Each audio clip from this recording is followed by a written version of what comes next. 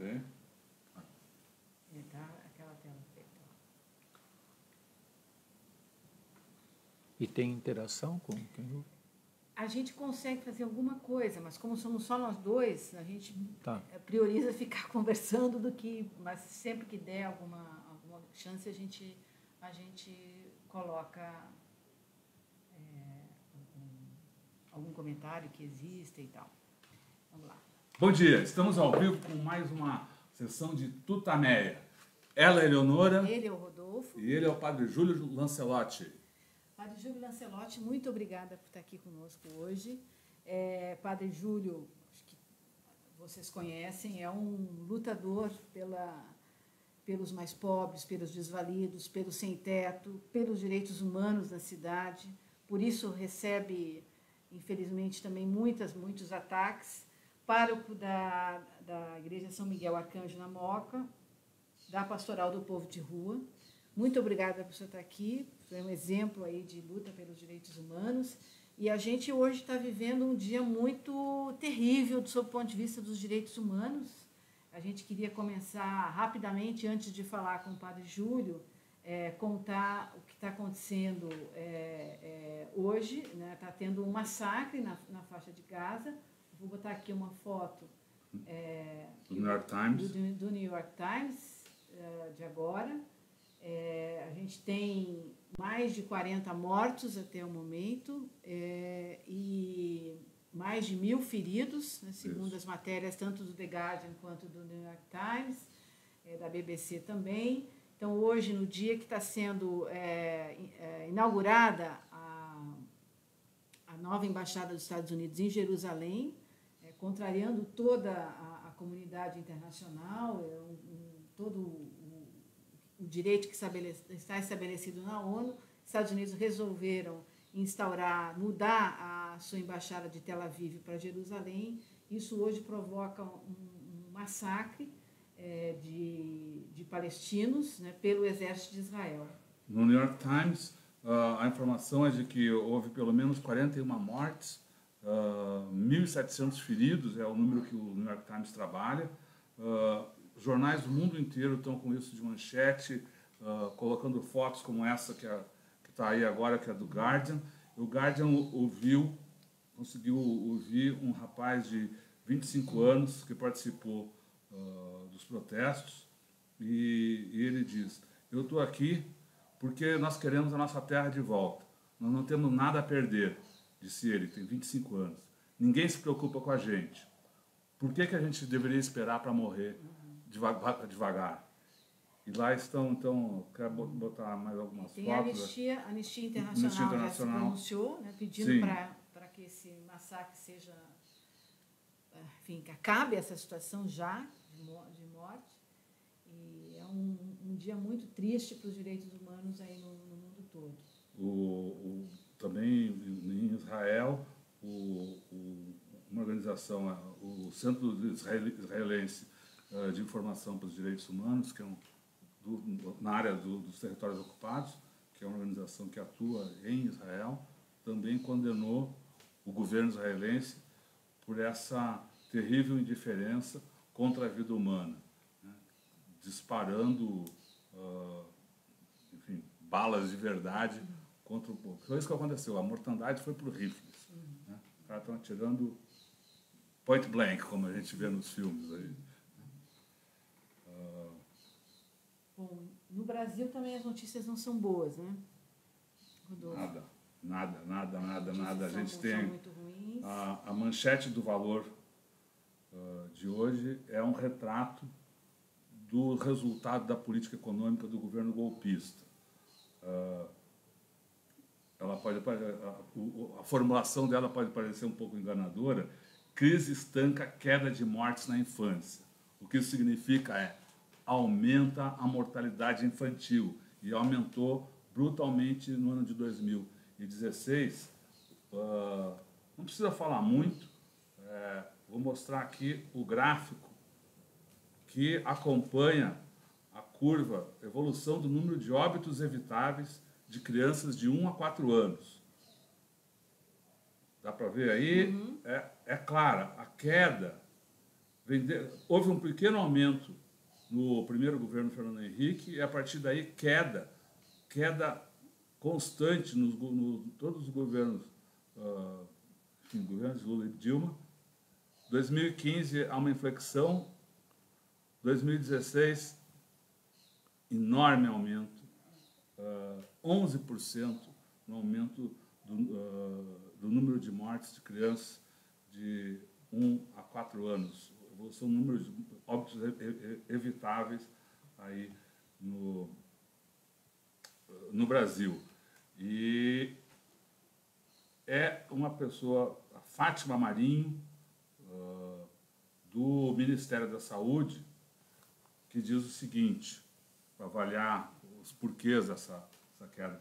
A mortalidade uh, uh, pós-neonatal, que é essa aí, né, a partir de um mês depois do nascimento, que é, mais, que é a mais sensível ao, desenvol ao desenvolvimento social, está tendo um, um repique.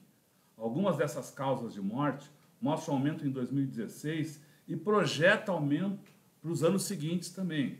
Algumas são muito associadas à pobreza, por exemplo, as gastrointestinais, diarreia, que vinham reduzindo fortemente, mas tem repique uh, em 2016. Já vimos uh, observando e assinalando esses problemas, então vamos ver em 2017 se isso se mantém ou conseguimos reverter. Ao que indicam outras uh, pessoas ouvidas por essa reportagem do Valor, essa situação aí vai se manter exatamente por causa dos cortes nos programas aí uh, de atendimento à população de, de baixa renda. Bolsa Família ficou estagnado. Uh, mais médicos. Mais também. médicos. Os programas aquele... de auxílio à, à, à, jovem mãe. Isso, tem o programa Rede Cegonha, programa de desenvolvimento da criança até os primeiros anos de vida. Então, essa, é, eu queria mostrar de novo ó, curva, porque ela uhum. É bem impressionante uhum. e mostra aí é, o retrato uhum. do golpe no Brasil. E a gente tem também uma piora na situação é, de moradia. Exato. E é o dado. Então, é o dado da, do IBGE, também isso. publicado hoje pelo Valor, mostrando que o aluguel está cada vez pesando mais né, pra, no bolso da, das famílias e, e, as pessoas estão tendo que viver em quartos cada vez com mais gente, quer dizer, há uma, há uma a crise, uhum. o desemprego, a recessão, os empregos, uh, os empregos precários também não só agravam a situação é, das pessoas e, e uma, uma, uma, situação cada vez mais degradante, cada vez mais sem, sem perspectiva. E a gente queria falar com o Padre Júlio sobre isso, ele que conhece essa, essa realidade de perto, né? o que está acontecendo no Brasil, que, por que, que a gente, que, como é que você está vendo essa, essa crise toda que afeta os direitos humanos, que afeta a condição das, dos mais pobres? O que está acontecendo na sociedade brasileira, Padre Júlio? Bom, depois de ver essas notícias da Palestina, realmente a gente fica muito impactado com o que está acontecendo na faixa de Gaza. Uhum. E eu queria logo, lamentando muito, dizer: eu sou palestino e queria estar lá com eles, jogando pedras no exército de Israel, porque é uma vergonha e o mundo não pode se calar diante do, de um massacre tão grande de um povo. O povo palestino que luta tanto pela liberdade, pela dignidade da vida, está sendo massacrado pelo capricho e pela violência do exército israelense que quer defender um imperador do mundo decadente como é o, o presidente dos Estados Unidos, Trump, que é, é o rosto da, da morte. E então queria me solidarizar e com muito pesar eh, ver essa essa notícia do massacre. São muitos jovens, Isso, adolescentes. Exatamente. É, é a juventude palestina que está protestando. Eles são adolescentes, crianças que estão sendo sistematicamente presos, torturados, separados das suas famílias. E nós vivemos aqui no, no Brasil quase que algo semelhante. Aqui também tem uma faixa de Gaza. Uhum. Inclusive há lugares até no Brasil que se chamam faixa de Gaza, uhum. onde moram uh, os moradores de rua, as pessoas das ocupações, as pessoas sem condições de, de vida, que estão se amontoando nos quartos.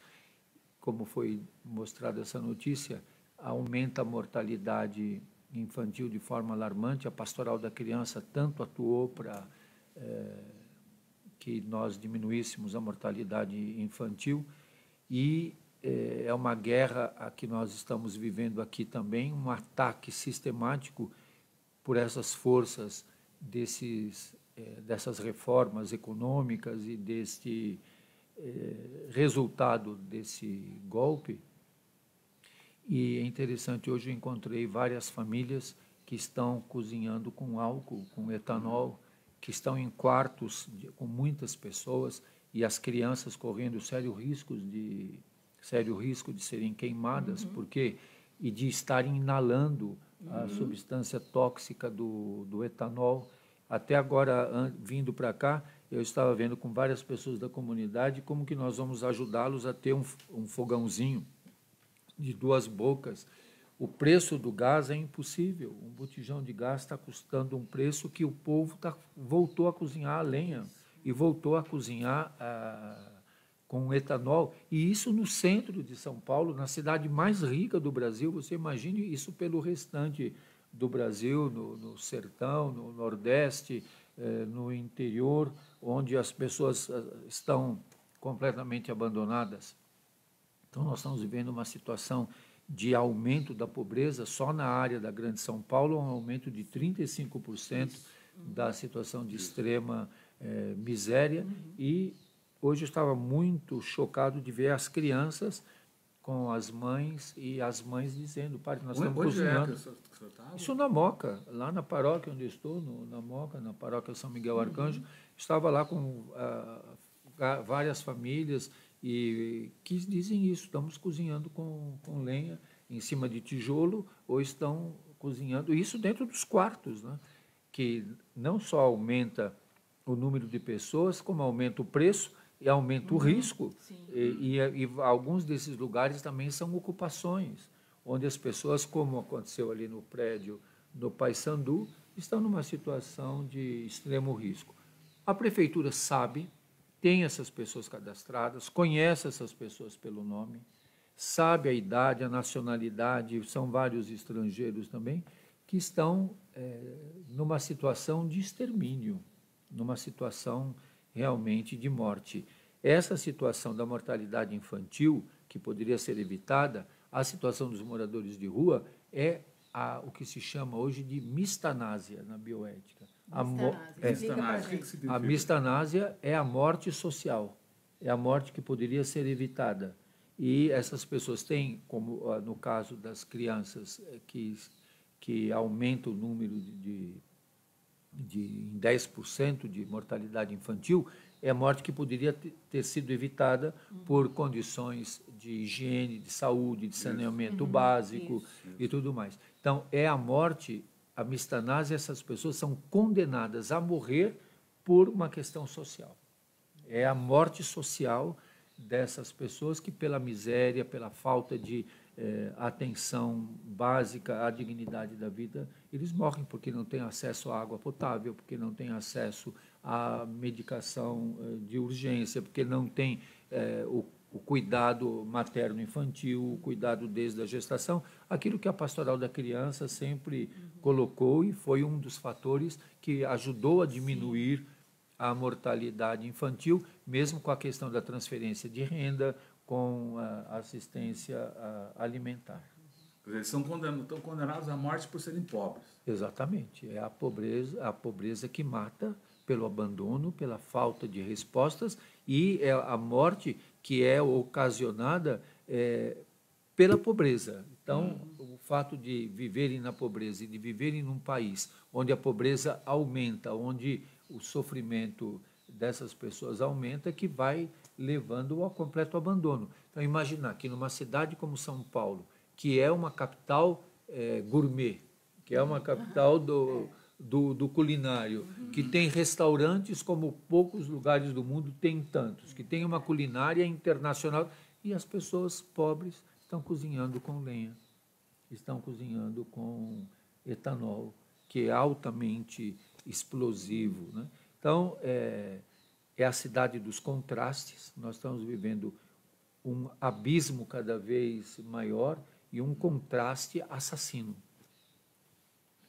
O senhor vê, o senhor vê políticas públicas uh, intervindo nisso, não intervindo, é. reduzindo, pois não é. reduzindo, agravando. agravando. Pois é, eu não, não gosto mais da palavra políticas públicas, porque hum. essa palavra é, é sempre alguma coisa meio compensatória uhum. numa, num sistema socioeconômico e político que dá para a pessoa o resto, o que sobra, uhum. parece que só para que ela sobreviva. Então, é, não há condições de vida, condições dignas de vida. O sistema que nós vivemos, todo ele é um sistema de morte. E isso o Papa Francisco tem colocado muito, colocou no Evangelho Gaudium, de que nós vivemos um estado iníquo, uma questão política, econômica, social iníqua, causadora e propiciadora de morte, não de vida. Então, esse sistema, eh, o neoliberalismo, esse capitalismo neoliberal exacerbado e, e ligado à meritocracia, ligado à competição, isso não tem futuro, isso é de morte. E os pobres vão morrer, é o que o Papa Francisco chama dos descartáveis. Esse que é o melhor nome, porque a gente falava excluídos. Não, eles não são excluídos, eles são descartados. O, o descarte é uma população que está no nível do descarte. É para morrer mesmo é deliberadamente descartada pelo sistema. Eles fazem parte do cálculo. É um sistema que calcula um descarte. Puxa, é, é dura essa realidade, padre. O que, que, que pode ser? Como é que esse, esse, é, enfim, essa população ou nós todos que somos vivemos em sociedade podemos atuar nessa? Eu acredito nessa... que nós temos que romper em termos históricos, em termos políticos, nós temos que resistir é, a isso. Isso tem que ser denunciado, isso tem que ser é, é tornado público. Nós vivemos no tempo dos fake news, nós vivemos no tempo que engana é, as pessoas. Eu acho que isso vai mudar num processo histórico, vai demorar. Nós, temos, nós somos uma geração que tem que aguentar e resistir e não se calar uhum. e colocar de que como o Papa Francisco tem feito, ele coloca claramente essa população está descartada e esse sistema, o que o Papa diz, esse estado é iníquo, uhum. é um estado é, delinquente que é, tem um sistema que é um sistema gerador de morte. Isso está muito claro, né? Uhum.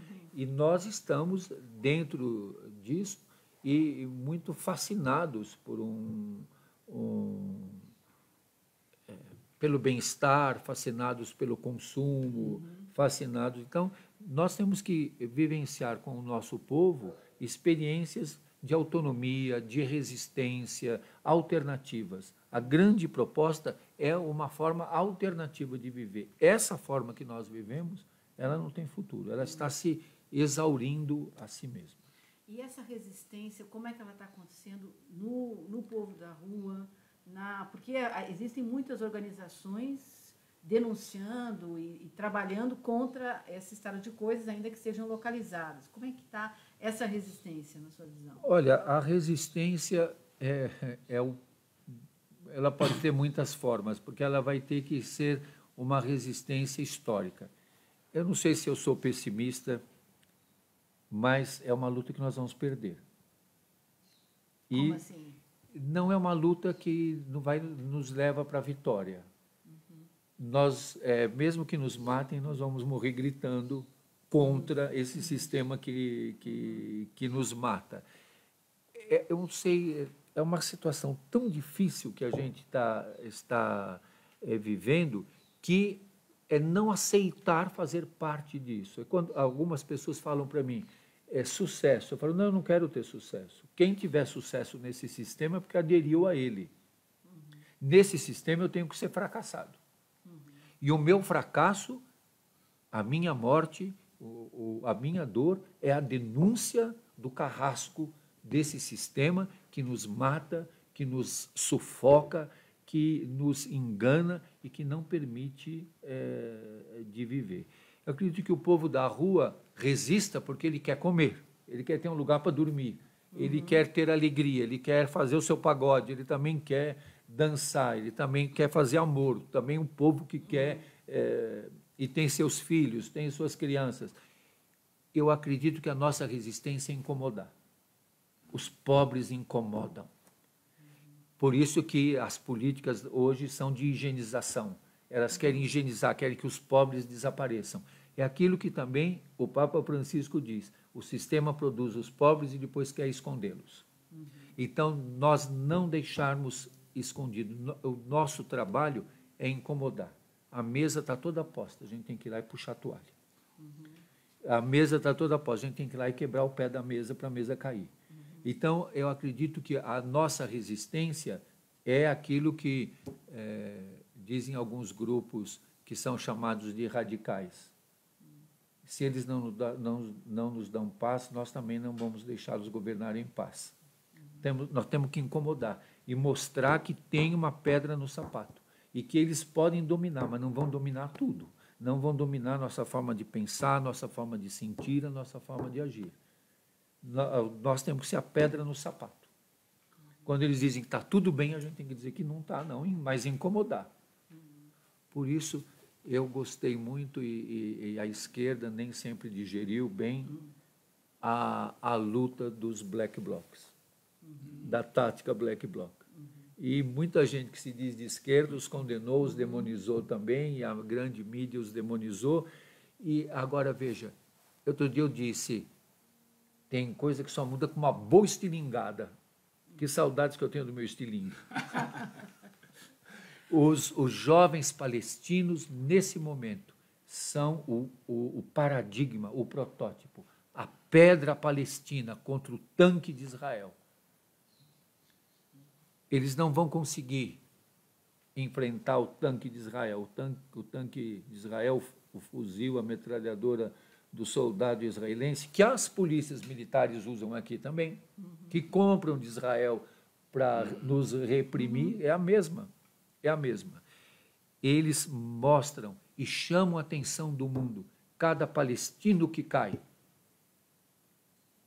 é a dor da resistência do nosso povo. Então, nós morremos com cada palestino e nós vivemos com cada um que sobrevive. Cada palestino que morreu hoje na faixa de Gaza é um morador de rua, é uma mulher, é uma criança,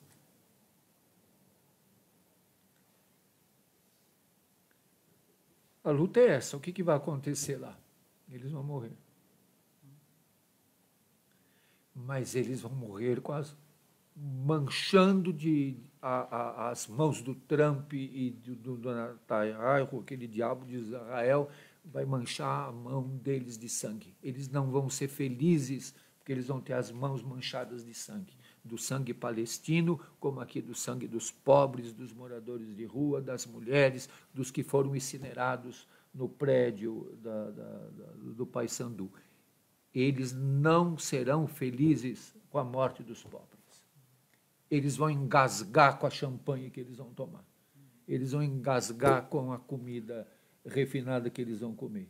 Porque a, a história vai mostrar, e nesse momento vai mostrar, quem no mundo vai aceitar ah, o, o, extermínio do, do, do, do povo é, palestino? Quem que vai aceitar? Os loucos?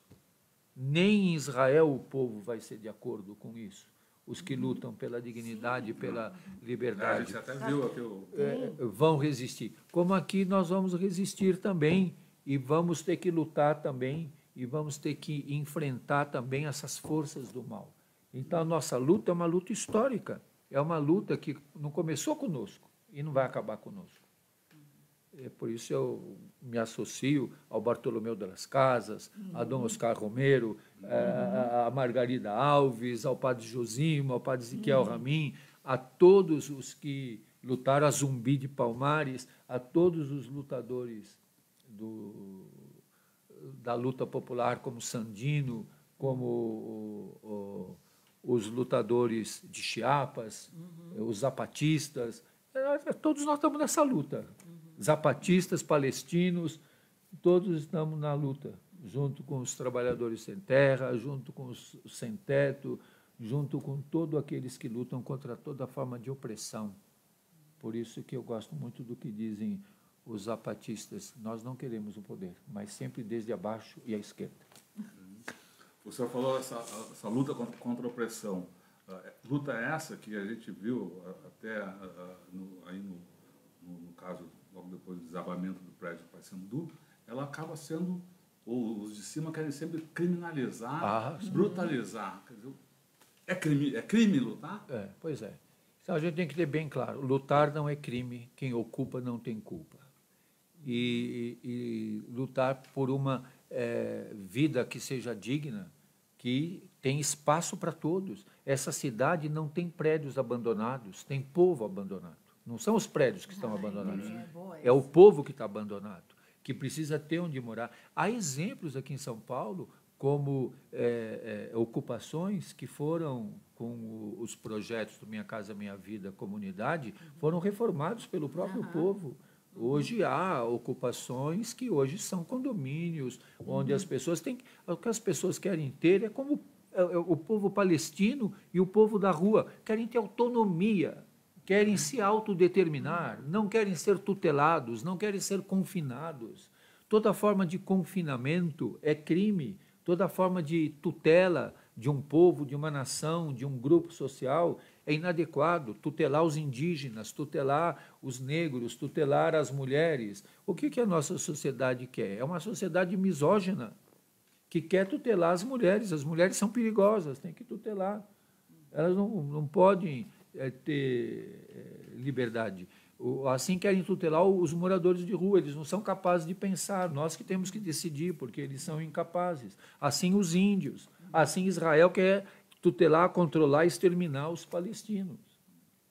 Então, é, é uma luta que em todo lugar se vê é, da mesma forma. Assim, é, o repúdio às populações LGBT, é, o, o extermínio, como no Brasil, é o país que mais mata defensores de direitos humanos. Então, você vê que essas coisas são todas interligadas elas estão todas é, ligadas entre si. O senhor falou que o Brasil é o país que mais mata defensores de direitos humanos. Fazendo uma rápida pesquisa com o seu nome na internet, as primeiras notícias que aparecem são das ameaças de morte contra o senhor. Poder falar um pouco sobre é, isso é uma coisa que eu sempre convivi. Eu já encontrei quatro pessoas que, depois de muitos anos, eram os que, eh, que disseram para mim, eu ia lhe matar. Ah. Eu era a pessoa que ia lhe matar. É, e por uma série de razões não conseguiu na, na, na, na época e, e depois é, algumas pessoas até se arrependeram e quiseram dizer para mim que e um dia eu encontrei com um que disse eh, para uma outra pessoa: Eu vou matar um padre, estou muito assustado porque minha família é religiosa, e, mas eu tenho que matar o padre. E aí essa pessoa disse: Você não saia de onde você está, que eu estou levando uma pessoa para falar com você. E aí eu conversei diretamente com a pessoa que ele ia ter que me atropelar. E eu falei para ele: Eu não tenho como provar o contrário do que você está dizendo, mas para eu mostrar para você que eu estou confiando em você, você vai confiar em mim, eu vou entrar no teu carro e você vai me levar até a minha casa. Então, é, essas ameaças agora que eu tenho vivido... Foram é, no mês passado, né? É, é, por causa dos moradores de rua, por causa dessa, desse ódio aos pobres, é que se chama aparofobia. O ódio ao pobre, assim como tem a é, assim como tem o ódio ao, ao, ao estrangeiro, que é a xenofobia, uhum. é, a, a homofobia, assim também tem a aporofobia, que é o ódio ao pobre. Nós vivemos uma sociedade que tem ódio aos pobres, que tem é, é, ódio aos moradores de rua. O padre Comblan dizia: se os moradores de rua sumirem, ninguém vai sentir falta deles. Ninguém na cidade vai ficar preocupado porque eles sumiram. Nós já tivemos no Brasil quantos, é, quantas matanças de moradores de rua. Quantos, como tivemos aqui em São Paulo em 2004, aquela, o massacre da Sé. Então é por causa deles que o pessoal está pondo na internet, colocou na internet morte ao Padre Júlio, é, né, incitando a morte. Temos que calar esse cara, mandar esse cara embora. E um que pôs lá, com todas as letras, morte ao Padre Júlio. E, e foram feitos os prints, deu um volume, um calhamaço de, de, de, de, é, de prints, de, de, de ameaça. Por quê? Porque é, eu convivo com os moradores de rua e nessa convivência a gente vai vendo toda a corrupção da polícia, da GCM, toda a participação é, desse crime organizado, que a gente tem que entender o que é crime organizado, porque a gente usa esse conceito para dizer que o, os bandidos são sofisticados. Não, crime organizado quer dizer que é o crime com a participação de agentes do Estado. O crime só é organizado quando dele participam agentes do Estado. Como no caso da Marielle. Está uhum. apontando o quê? Militares, políticos. É, então, o crime organizado não é porque o bandido tem computador, tem WhatsApp e uhum. tem secretária, não. O crime organizado significa com a participação de agentes do Estado. Então, a estrutura do Estado participa é, do crime. Então, eu recebo ameaças envolvendo é, Agente do agentes do Estado. E o senhor não tem medo? É, eu não sei, é assim, eu, o que me fere mais é que eles batem nos moradores de rua e falam para eles que é porque eles são meus amigos. Você sabe que durante um tempo, na, na antiga FEBEM de São Paulo, que hoje é a Fundação Casa, tinha um cacetete escrito Padre Júlio Lancelotti. E eles, já que o padre, que vocês querem chamar o padre, e batiam neles com aquele cacetete. Tinha um cacetete chamado Direitos Humanos. E tinha um cacetete chamado ECA. Era escrito no, no cacetete. E aí os, eles apanhavam com o cacetete, com o meu nome, com o escrito de Direitos Humanos, escrito é, Estatuto da Criança e do Adolescente. Como muitos que batem nos moradores de rua falam para eles: vai chamar o padre, que ele é o primeiro que nós vamos quebrar a cabeça. Então, é, é, é uma virulência, uma força muito, muito cruel. Que, e isso que me machuca mais é baterem nos moradores de rua, dizendo: vocês não são amigos do padre? Então, isso que é. é e eles buscam, sempre eles. A, a, a, a direita tem uma tática que usa sempre, hum. que é, é, é destruir o interlocutor. Não discute o mérito, ele hum. desqualifica o interlocutor. Ah, mas esse cara aí é um defensor de bandidos, você vai conversar com, com um cara desse, quem está te criticando é, é, é, um defensor de bandidos. Eu estou sendo processado pelo Bolsonaro. Mas conta essa história. É porque eu disse numa, numa, numa celebração, e esse vídeo viralizou, que eu digo que o Bolsonaro é homofóbico, racista e machista. E ele me processou pedindo uma indenização por danos morais. E agora foi apresentada a defesa. Né? Eu, eu coloquei, eu simplesmente estou dizendo aquilo que ele mesmo declara. Quem declara se você tem um filho gay, é falta de porrada. Eu prefiro um filho morto do que um, um filho gay. Você está falando o quê? Uhum. Isso é homofobia? Sim. Você está dizendo é melhor que mate do que é falta um filho você tem um filho gay é falta de porrada. Isso é o quê? Dizer eu tenho quatro filhos, três homens e uma mulher. É, no quarto eu fraquejei e nasceu mulher. Dizer a mulher tem que ganhar menos porque ela é engravida. Isso é o quê? Depois dizer, eu fui no, no quilombo e os quilombolas têm que ser pesados em, em arroba. Nem para procriar eles servem. Isso é o quê? Tanto que ele foi denunciado procura, pela Procuradoria-Geral da República por racismo. É incrível que ele tenha essa intenção de voto para.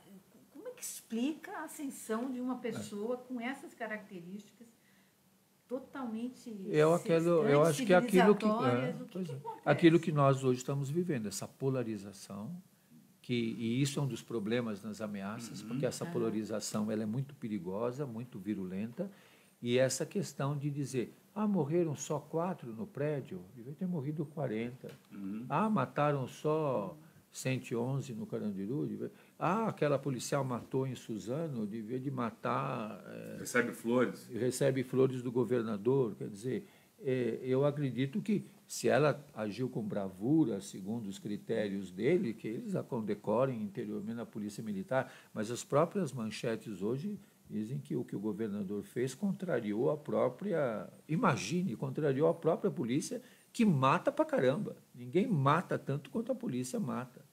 Quer dizer, esse gesto de dar flores à policial é um estímulo à matança? É uma mensagem Uhum. A gente precisa tomar muito cuidado, porque passou a mensagem para os policiais: matem. Uhum.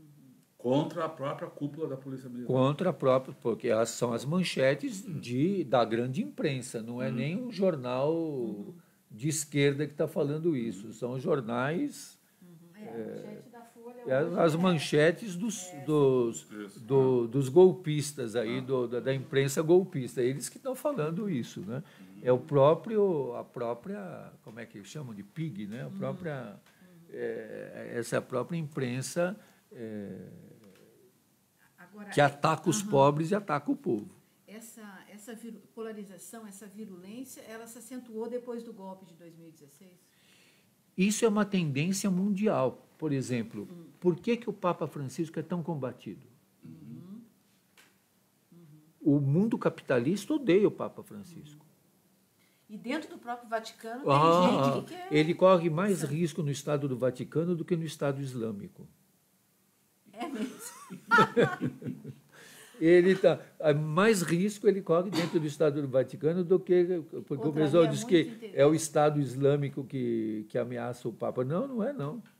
É o Estado do Vaticano mesmo lá dentro que ele encontra a, a, a, a maior oposição e a maior resistência.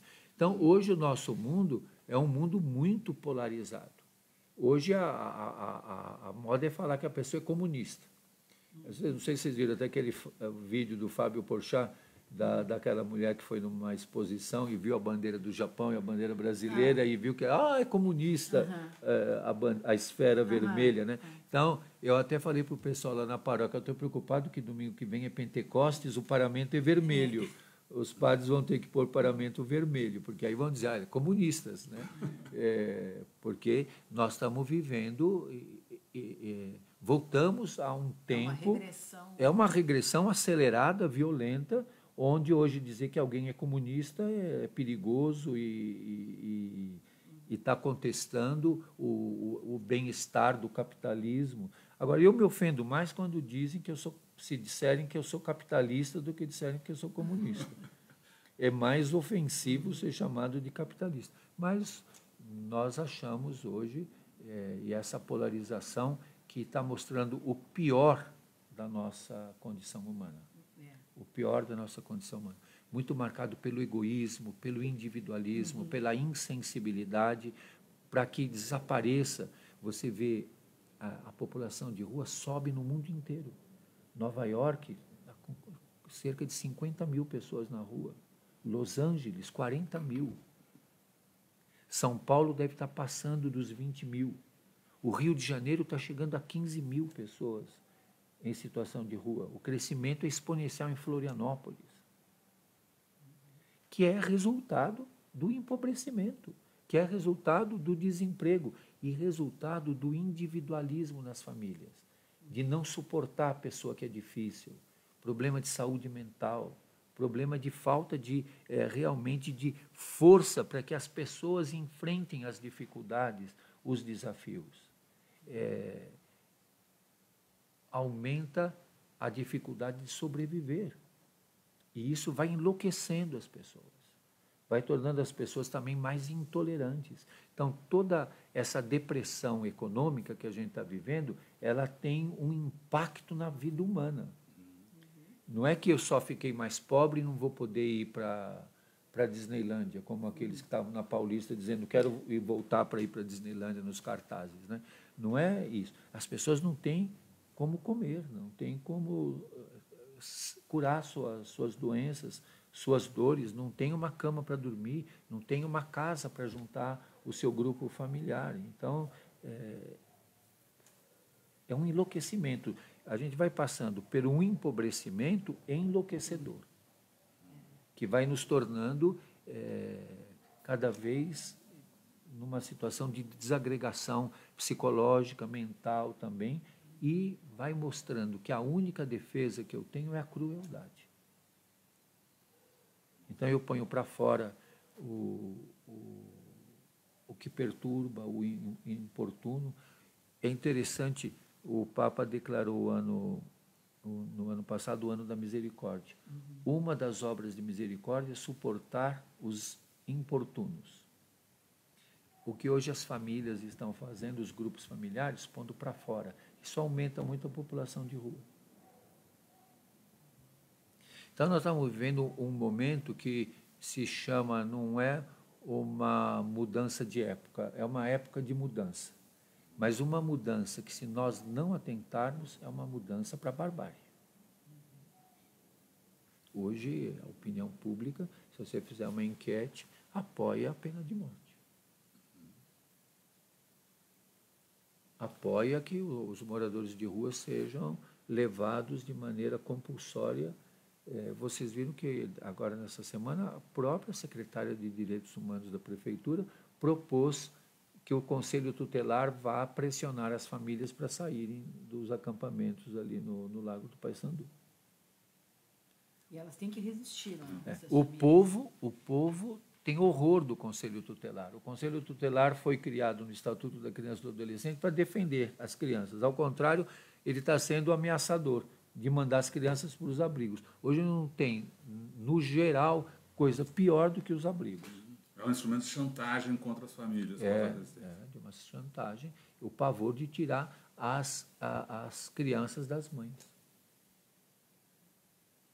O maltrato não é feito pela mãe, o maltrato é feito pela estrutura eh, social uhum. que não permite essa mãe ter um espaço para ela cuidar dos seus filhos ter condições onde ela não fique desesperada sem saber o que cozinhar para os seus filhos e, e não tem nem como cozinhar para os seus filhos. Nós somos uma cultura de cocção, uma cultura culinária que tem que cozinhar. Nós não somos uma cultura que come cru. Nós somos uma cultura que cozinha. E impossibilitamos essas pessoas. Como nós somos uma cultura de mobilidade urbana. Nós somos uma cultura de que as pessoas andam. Hoje um da rua falou para mim, ah, eu vim de muito longe. Eu falei, de onde? Ele falou, da Penha. Eu falei, ah, mas a Penha é logo aqui. Uhum. Estávamos na Moca, é bem perto. É. Mas a cultura de mobilidade urbana, você não se movimenta na cidade uhum. a pé, você se movimenta usando o transporte público. Então a gente inviabiliza tudo da vida dessas pessoas e queremos que eles sejam educadíssimos, gratos, simpáticos, amáveis, gentis, cordatos, tudo aquilo que nós não somos, queremos que eles sejam. Como é que está a situação de, de, das famílias no Paysandu? O senhor tem acompanhado isso? Eles têm alguns recebido até o, o Bolsa Aluguel, mas o Bolsa Aluguel é uma indecência, porque quem vai alugar um espaço para um grupo familiar com 450 reais? Aí o governo diz, mas é um auxílio. Sim, mas um auxílio para quê? Para o nada? Como é que se auxilia o nada? o auxílio do nada vira o tudo. Então, é o tudo que eu tenho para alugar, é isso. E não tem onde ir. Por isso se aponta propostas como alocação social, uhum. como respostas de habitação permanente. O que tem de imóveis vazios em São Paulo é maior do que o número de pessoas que necessitam. Uhum. Então, tem muito mais gente abandonada do que prédios eh, vazios. Então, é, é, os prédios vazios são suficientes, na verdade, para abrigar. abrigar. todas, todas essas pessoas. O que é preciso é ter coragem e, e levar em conta aquilo que é do magistério social da igreja. Sobre toda a propriedade privada pesa uma hipoteca social. Uhum. Que está na Constituição brasileira. Exatamente. Função social da propriedade. A fun... É é, bem- qual é a função? Onde está a função social da propriedade? Aonde? Aonde? Isso tudo, a Constituição brasileira virou uma ficção. Bom, isso é verdade. Isso é verdade. Virou uma ficção. A justiça brasileira virou uma ficção. O conceito de propriedade virou absoluto e, e- e- e não se fala mais da função social. Não se fala, e é o que nós estamos vendo, e esse povo está sofrendo justamente por isso. E aí, realmente, no caso específico do Paysandu, as famílias que estavam naquele prédio estavam todas cadastradas. Eles sabiam quantos estrangeiros, quantas crianças, quantas mulheres gestantes, quantos idosos, quantos casais, sabiam tudo. Por que não fizeram alguma coisa antes? Tinham os laudos todos de segurança. Por que não foi feito? Porque não quiseram. É a, é a política de deixar, deixar desabar, deixar morrer, deixar. Exatamente. Tem umas fotos aqui de Rodolfo da Feira da- que eu tive lá semana passada, ainda estavam os trabalhos lá de retirada, agora já retiraram, encontraram mais corpos, né, o corpo dos gêmeos.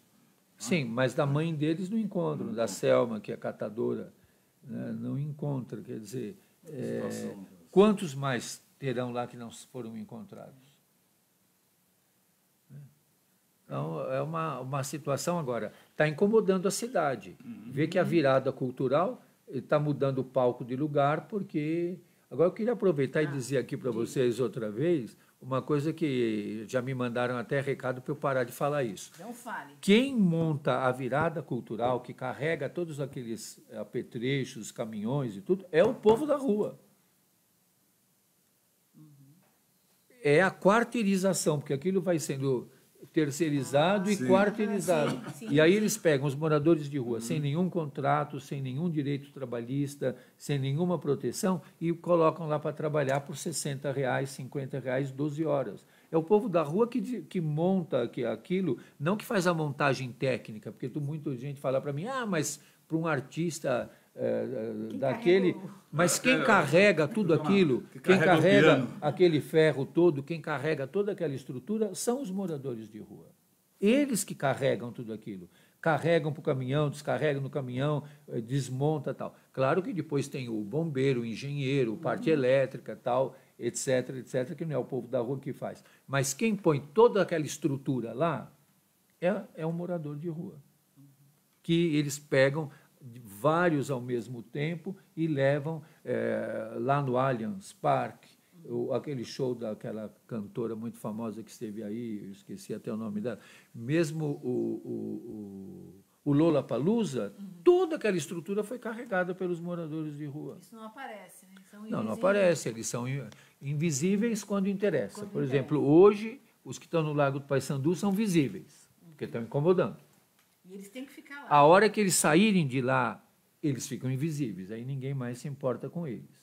Enquanto os moradores de rua estão carregando os caminhões e descarregando com todos aqueles ferros e toda aquela estrutura para montar o Lola Palusa, eles são invisíveis. Mas se um furar a cerca e entrar lá no show, aí ele é visível. Então a invisibilidade e Visível a pra ser visibilidade, ele, ela é seletiva. Quando eles estão sofrendo, eles são invisíveis. Se eles incomodam, aí eles são visíveis. Por isso mesmo, quando eu estive lá nessa, nesse, nesse dia, conversando com, com alguns dos moradores que estavam lá, eles estavam dizendo, ó, os caras, a, prefeitura quer nos levar para abrigos, né? Pra, Que é os abrigos Não- dos moradores de rua. Não vamos, não vamos, porque não se, vão. se nós formos, se nós sairmos daqui, nós vamos ser esquecidos. Sim, exatamente. Eles têm essa consciência. Que se eles saem da cena, Uhum. é, desaparece.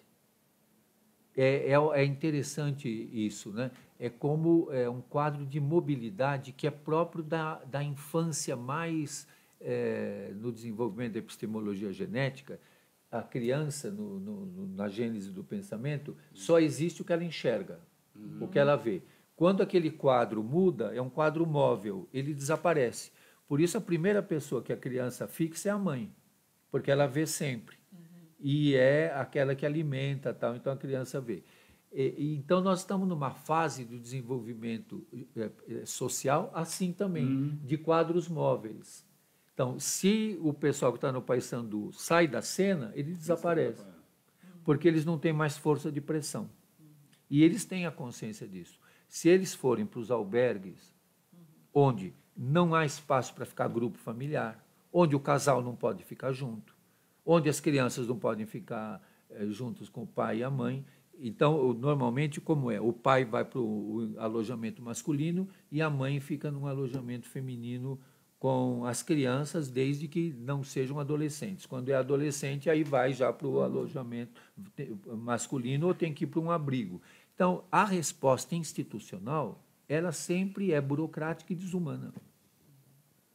Por isso, nós temos que encontrar respostas não institucionais.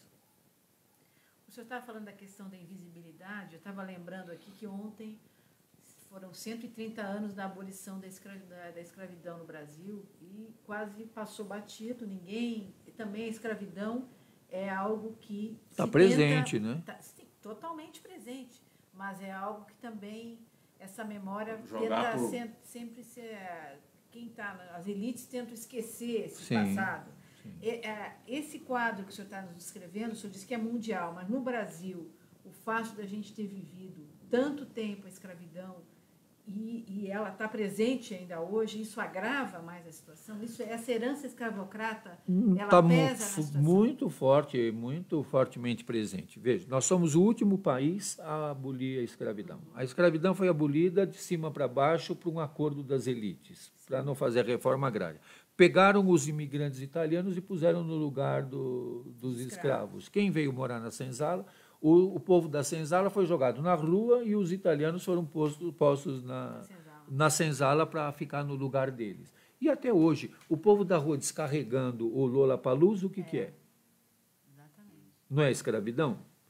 E veja que vai ser, acho que vai ser votado essa semana a atenuação ou não da, da, da tipificação de trabalho escravo porque o próprio governo quer é, atenuar a tipificação do, do trabalho escravo, que está presente aí é, em quantos lugares do Brasil e quanta gente lá do, do, do Congresso e da política, é, do, do, poder é, político, é, tem é, trabalho escravo nas suas propriedades.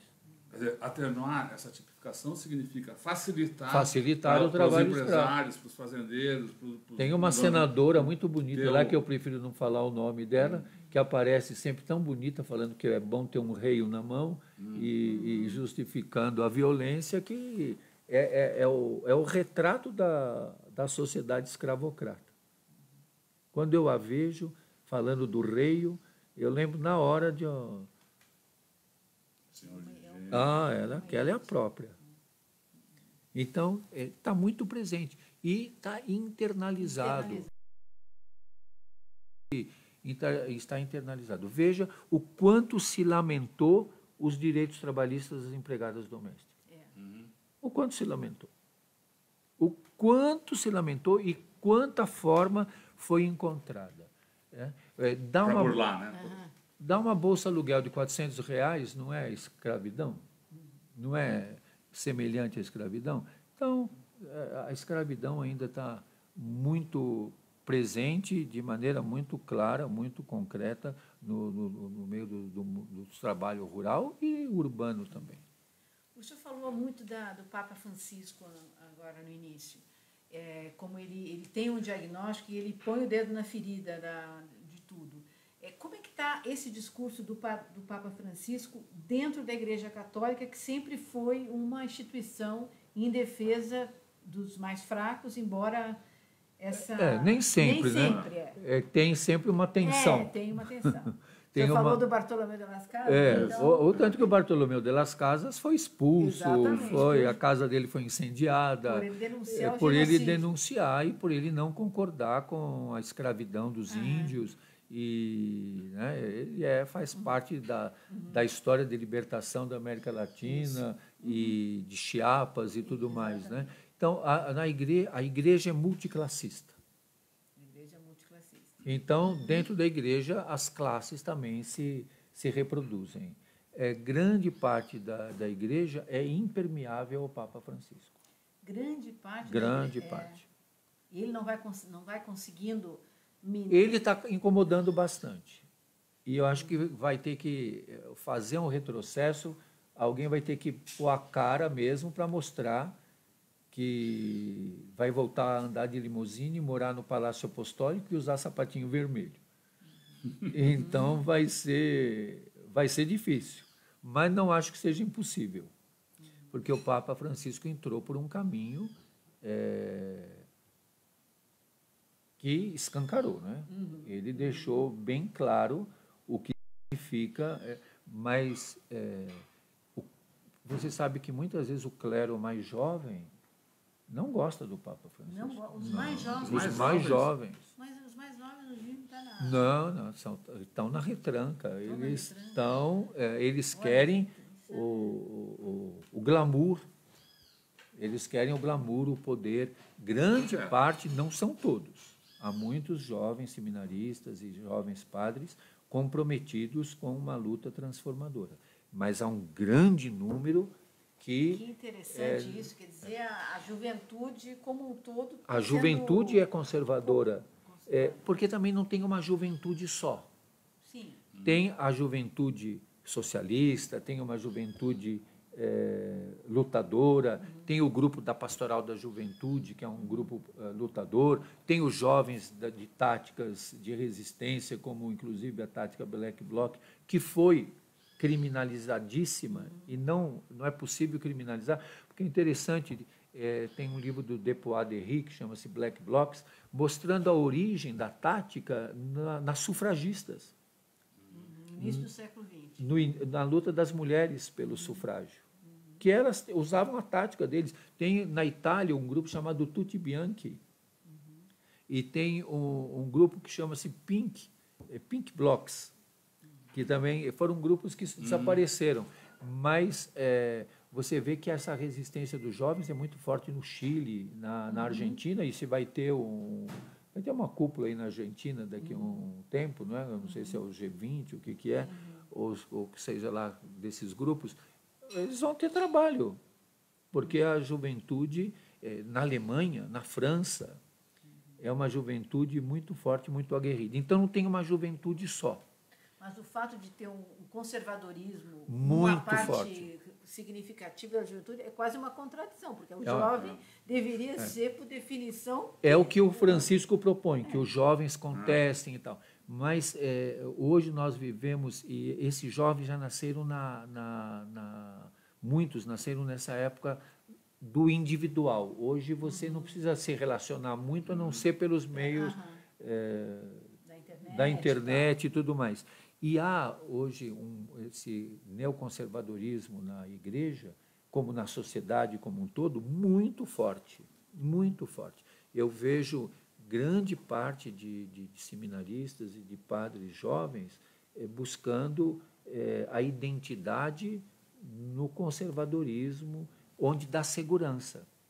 Porque qual que é a grande questão para nós? Viver junto do povo viver a força do amor que te descentra é muito arriscado. Uhum. É, a gente precisa, eu preciso viver seguro. Para eu viver seguro, eu tenho que tirar todos os questionamentos e todas as dificuldades. Eu me torno absolutista, de valores absolutos. Eu não entendo. Hoje, por exemplo, é, o nosso mundo e esse mundo juvenil é, é, é, em grande parte, o conservadorismo é binário. Não entende é, uma estrutura não binária. Como assim? Na questão de gênero, por exemplo. Ah, a dificuldade de entender a, a, a diversidade. E hoje os grupos não binários, que não são nem masculinos nem femininos. Uhum. E não são andrógenos, eles uhum. não, não entram nessas categorias. Então, a, o pensamento é, religioso, eu tenho uma suspeita, eu não, não consigo ir fazer uma tese. Eu gosto muito, e nós somos de uma geração que estudou muito Piaget.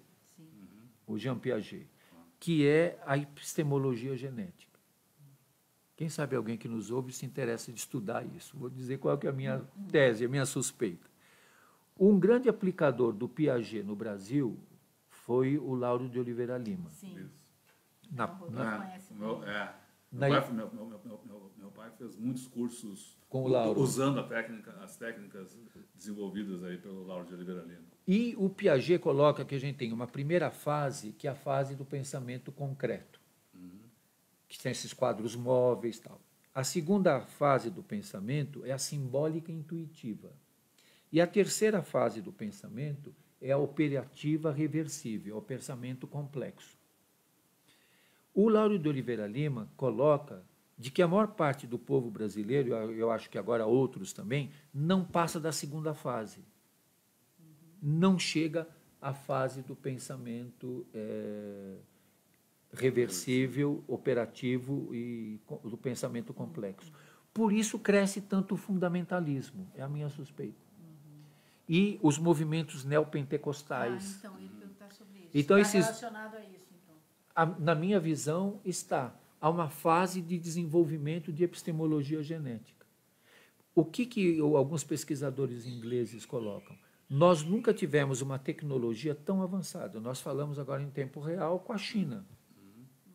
Eu posso saber em tempo real o que está acontecendo na faixa de Gaza. Mas, ao mesmo tempo, convive com o pensamento mágico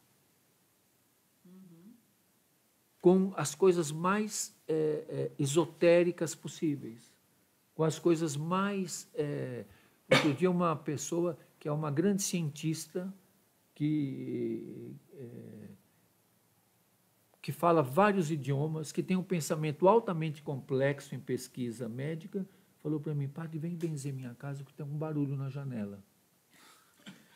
Né?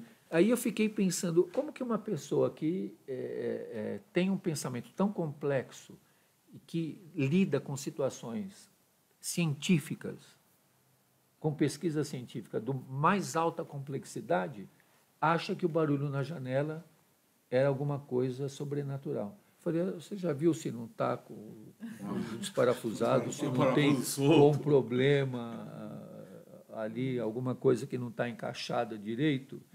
Porque aí ela está pedindo uma bênção para tirar, certo, algum ruído sobrenatural, algum... Nunca no cristianismo se falou tanto de demônio. Nunca. O que tem de exorcista, de gente expulsando Olha, o demônio nas disso. igrejas pentecostais, neopentecostais, no catolicismo eh, pentecostalizado também, o que se fala de demônio, o que se. E, e sem entender biblicamente o que é o demônio na Bíblia. E, e, e, e coloca. E o que, que- o que que é o demônio na Bíblia? Então, o, o, o demônio na Bíblia é o, que, é o que divide. A pior coisa que pode ter é uma pessoa dividida. E o demônio é o que aliena. O demônio é o que é, tira a pessoa do, da comunhão e do convívio, que desumaniza. O demônio, Jesus expulsa o demônio que desumaniza. O, o judeu primitivo, no tempo de Jesus, acreditava que toda doença era obra do diabo. Por isso que Jesus é um exorcista, ele expulsa os demônios. Quer dizer, ele tira das pessoas a alienação. Ele tira das pessoas a, a, a, aquilo que divide e que tira, que aparta as pessoas do convívio humano, tudo aquilo que desumaniza. Hoje nós vemos o, o, o, o demônio como um, uma entidade autônoma que, que vem. Quer dizer, hoje qual é o demônio? O demônio é o capitalismo. O demônio é o que faz aumentar a mortalidade infantil. O demônio é o que desemprega as pessoas. O demônio é a especulação imobiliária. Esse demônio que tem que ser expulso. O demônio é aquilo que aliena as pessoas, que entristece, que angustia, que faz as pessoas ficarem sofridas. Nós colocamos essas coisas muito no, num privatismo individualista e esquecemos que o demônio é a, a exploração, o demônio é o que desemprega, o demônio é os que estão matando o, o, as forças que matam os palestinos. Isso é o demônio. O demônio é aquilo que desumaniza a vida, que expropria a vida. Esse demônio que tem que ser expulso. É esse o demônio que a gente tem que expulsar. O demônio como diziam alguns bispos lutadores, e como diz Dom Angélico, do capitalismo. Do capitalismo. Esse que é o demônio, o demônio capitalista. O senhor falou aqui da, do Dom Angélico, a gente entrevistou o Dom Angélico esses ah, dias. Sim. Muito, aqui está Dom Luciano então, e Dom Helder, é... dois santos queridos. O Dom Helder que dizia, quando eu dou um prato de comida para o pobre, todo mundo diz, ah, como ele é caridoso. Mas se eu pergunto por que, que o pobre não tem o que comer, ele diz, Ih, como ele é perigoso. Ele é, ele é comunista. Eu vi e convivi muito com Dom, com Dom Luciano Mendes de Almeida. Dom Luciano Mendes de Almeida é o homem da misericórdia, da compaixão, o homem do contrário. O homem que procurava ver aquilo que ninguém enxerga. Um dia disseram para Dom Luciano, Dom Luciano, tem lógica, o senhor é o secretário-geral da CNBB, ah. Um homem importante na Igreja do Brasil, e o senhor fica na praça até de madrugada atendendo esses moradores de rua, ouvindo a história deles. E Dom Luciano disse: e a vida deles tem lógica? Porque vocês estão dizendo que não tem lógica eu fazer isso. E a vida deles tem lógica? Um dia perguntaram para Dom Luciano: quem é a pessoa mais importante para o senhor? Ele falou: a pessoa mais importante para mim é aquela com quem eu estou falando. Essa é a pessoa mais importante. Aquela com quem eu estou falando. É impressionante que o Papa Francisco é muito, lembra muito, é muito semelhante a Dom é. Luciano. Muito. Os dois são jesuítas, né? Uhum. Dom Luciano também era jesuíta. Dom Luciano foi muito castigado por defender a reforma agrária, Isso. por ser amigo do MST, por ser amigo da Via Campesina, por ter lutado pelas reservas indígenas. Hoje, o que tem de reservas indígenas do Brasil teve como aliado Dom Luciano. Os índios sofreram muito, sentiram muito as nações indígenas quando Dom Luciano morreu, porque ele defendeu. É, se você procurar na internet as sessões do Congresso Dom Luciano defendendo as reservas, as demarcações uhum. indígenas, eu nunca vi Dom Luciano tão bravo como ele era uma pessoa muito controlada, uhum. como defendendo os povos indígenas, as nações indígenas. Dom Luciano foi muito castigado. Ele foi levado para Mariana para um exílio, é, para ser calado. Essas figuras da Igreja Católica, a gente sente Acabaram. Falta acabar. O senhor está aí. Ué. O senhor está aí. Não, mas estou dizendo, desses bispos, como Dom Aloysio Leuscheider, uhum. como Dom Ivo Leuscheider, como Dom Adriano Hipólito, como é, o Dom Paulo Evaristo Arns, que é, a mim toca demais, comove demais, porque com a morte de Dom Paulo se encerrou um ciclo. Com a morte de Dom Paulo se encerrou, encerrou um ciclo, o ciclo de uma igreja profética defensora dos direitos humanos. Hoje, quem ainda é um grande sinal para nós está bastante debilitado é Dom Pedro Cassaldáliga. Uhum. Porque ainda temos figuras que, que marcaram a nossa vida, né? Dom José Maria Pires, uhum. é, Dom Pedro Cassaldáliga. Quer dizer, hoje não temos ninguém a, a quem comparar. Eles são. Você tem que segurar essa bandeira. São incomparáveis incomparáveis. Isso mostra muito sobre a sociedade, sobre Sim. a igreja. Dom Helder Câmara. Dom Helder. É, Dom mais Tomás. Dom Tomás Balduino, sim. são figuras. É, hoje temos aí a emérito Dom er-, Erwin Kautler, que vai participar agora do, desse sino da Panamazônia. É, tem despontado como uma figura importante nessa questão da Amazônia, Dom Cláudio Umes, uhum. que foi arcebispo de São Paulo, que teve uma, agora um engajamento muito forte desde a eleição do Papa Francisco. Então, é, são sinais e, e, são sinais também na história. Uhum. São sinais na história. É, eu vi esses dias a lápide que fizeram de Dom Paulo. Eu até pus no meu no meu Face a, a lápide de Dom Paulo. É, corajoso e exímio defensor não tiveram coragem de escrever dos direitos humanos, escreveram da dignidade humana. Mas para quantos vai poder pôr uma lápide dizendo amou com é, especial atenção os pobres e os humildes? Isso é Dom Paulo que com a morte dele se encerrou um ciclo. Eu guardo com muito carinho, na, na Dom Paulo morreu numa quarta-feira. na terça noite eu estava na rua com os irmãos de rua, com um grupo que estava na convivência com eles. E é, às 11 da noite eu falei, nós estamos aqui perto do Hospital Santa Catarina, né? Hum. Eu sim. Falei, eu vou lá ver Dom Paulo. Olha. Aí eu fui para o Hospital Santa Catarina pensando, será que vão me deixar entrar? Aí é, eu cheguei lá, disse, eu sou padre, queria... Ah, pois não, o senhor passa ali. De, em dois tempos eu estava no quarto de Dom Paulo. Ninguém me, me segurou, me impediu. Aí eu cheguei lá no quarto, ele estava já bastante mal. E eu beijei Dom Paulo e falei para ele: eu lhe trago o amor do povo de rua, o carinho do povo de rua. E no dia seguinte, é, ele faleceu. Então foi uma das últimas visitas que, que consegui entrar no quarto lá onde estava Dom Paulo. E depois acompanhamos, eu celebrei uma das missas de corpo presente, onde os movimentos sociais, Sim, os movimentos populares lá, foram. Viu, tinha, o povo da rua estava na Praça da Sé, E foi também o, quando se leu a carta do Leonardo Boff, uhum. e onde eu chamei todos com as faixas lá para cima uhum. do altar, porque é como Dom Paulo fazia. Uhum. Dom Paulo fazia assim. E, então, aquela missa foi a missa que aí todos os movimentos de moradia foram também, e, e foi um momento forte de buscar nele força, coragem para essa luta. Porque Dom Paulo foi muito corajoso de enfrentar a ditadura, de, de enfrentar desafios imensos. E com uma delicadeza humana, com uma sensibilidade humana incomum.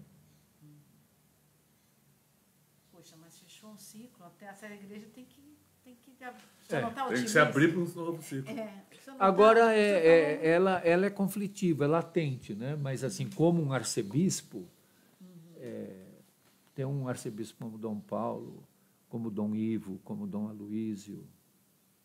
É... Mas quem imaginava um Papa como o Papa Francisco? É, a gente também espera as, a, as ações de Deus na história e o Espírito que sopra onde quer uhum. que faça surgir novas esperanças, porque é, o que é interessante que o que nós falávamos da base, uhum. agora o Papa Francisco fala uhum. lá no, no, no, no Vaticano, Vaticano, né? E aquela turma que era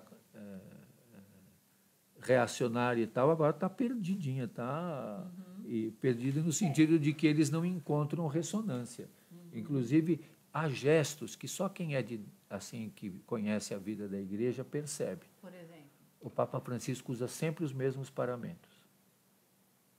Uhum. E ele é avesso a qualquer tipo de é, luxo. De ostentação. De ostentação. O Papa ostentação ficou para trás. Ele não faz nenhuma ostentação.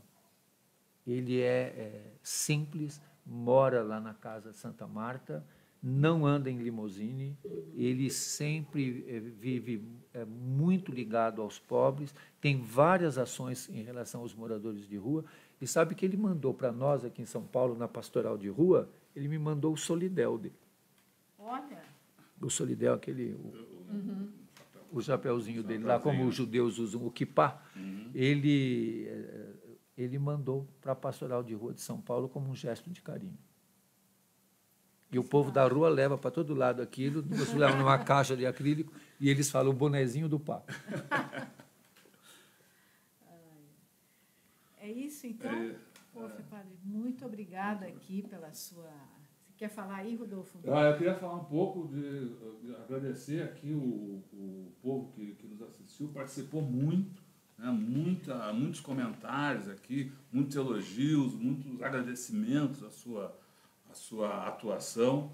Também teve, teve gente que uh, falou do, do, ódio, teve gente que, que uh, vomitou ódio aí, que foi reprimida por outros, enfim, teve, um, teve enquanto a gente estava conversando aqui, houve um debate uh, importante, significativo aqui nos comentários. A gente queria agradecer a participação de todos e agradecer a, a sua presença aqui, que é, é, um testemunho de luta, né? é um testemunho de fé, é um testemunho de luta.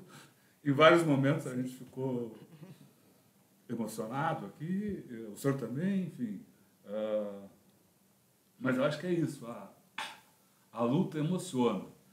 E todo esse material vai estar disponível uh, na, na, aqui, além daqui do, do, do, do, Facebook por onde transmitimos. Uh, o vídeo completo da entrevista está no YouTube, na nossa página, que eu acho que a Leonora já colocou uhum. o endereço, está aí na tela. Uh, eu vou lendo, é no youtube.com barra C barra Eleonora e Rodolfo Lucena, Tutameia, ou Tutameia em letras maiúsculas, e uh, tudo isso, vídeo, fotos e textos, a gente vai produzir, uh, procurar colocar o mais perto possível do texto integral aí no nosso site tutameia, tutameia.jor.br. É, então assista, compartilhe, inscreva-se no nosso canal no YouTube, né, participe, mande sugestões aqui no nosso site. E muito obrigada, Padre Júlio, pela lição aqui de vida, a aula. E a gente vai terminar o programa, como nós temos feito aqui nos últimos dias, Isso. com uma, um contrapoema do Augusto de Campos, que Augusto de Campos enviou aqui para a gente. A gente pediu uma entrevista para ele e ele falou, não, as minhas visões de mundo estão, estão postas nos meus, nos meus poemas. poemas. E, e aí... o poema Lula Livre, aqui que ele nos enviou. Lula Livre.